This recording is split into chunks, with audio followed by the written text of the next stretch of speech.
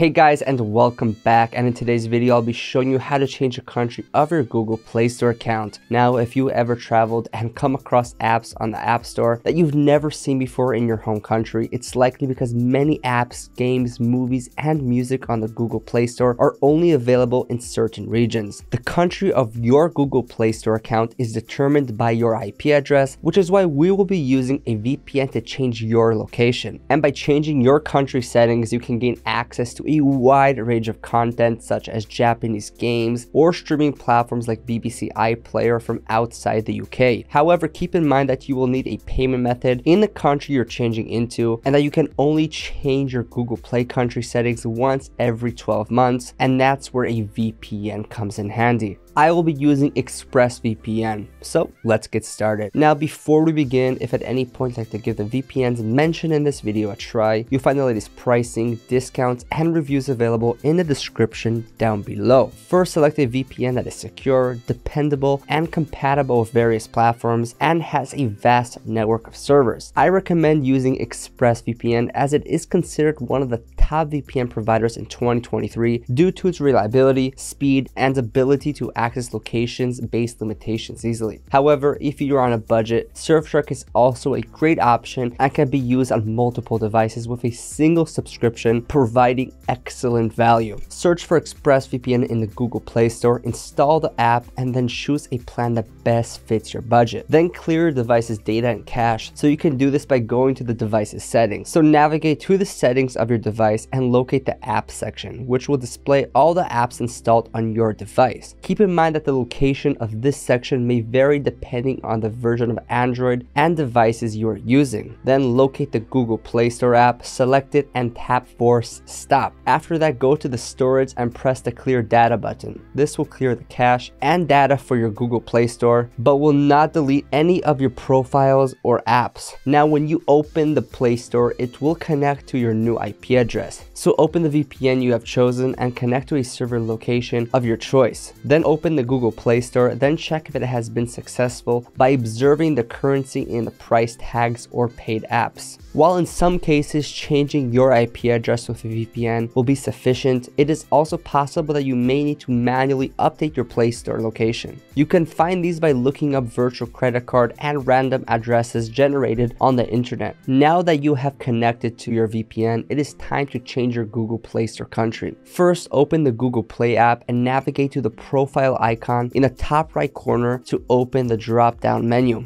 Then select the option to add another account and follow the prompts to create a new account. Keep in mind that when prompted, do not add a phone number. Then go to the Google Play menu and select a new account you just created. After that, go to the payment and subscription section and add a virtual credit card with an address from the country you are connected via the VPN. This will allow you to access and download apps in that country. Also, as a tip, if you're using a PC, you can change your country in the Play Store by going to pay.google.com clicking on the settings and finding the country slash region section. Then click the pencil icon and add a new payment account to change the country. Though you could change the country without a payment method, however, you will not be able to download apps without adding a valid payment method. So that's it for this video. Again, if you're interested in these VPNs, you'll find links to pricing and discounts, as well as reviews in the description down below. And feel free to comment below if you have any questions, as I love getting to interact with you guys and like and subscribe if you found this video to be helpful or would like to stay up to date with our future videos. Thank you so much for watching